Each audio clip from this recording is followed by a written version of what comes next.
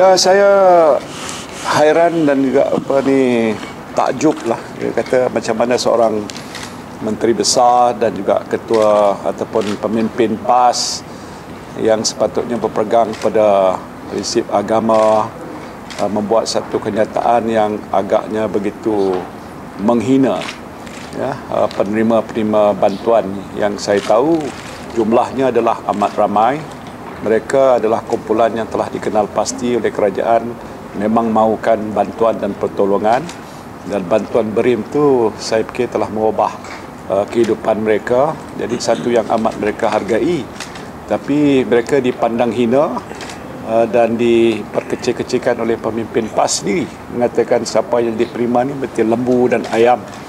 Jadi ini sesuatu yang tidak harus keluar daripada seorang yang mengatakan diri mereka sebagai tokoh agama lebih lagi agama Islam. Dan lepas tu dia keluarkan fatwa menghukumkan ini satu perbuatan yang haram bertentangan agama. Saya fikir Ni Aziz sudah membuat satu kenyataan yang bercanggah dengan Islam. Saya faham uh, soal prinsip Islam dan hukum syariah. Ini tidak ada.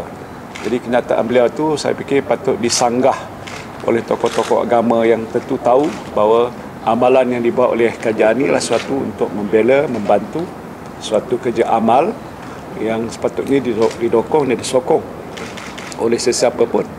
Jadi dia sudah buat satu pernyataan yang cukup uh, bercanggah dengan hukum sebenarnya. Satu kesalahan dari segi agama. Lah.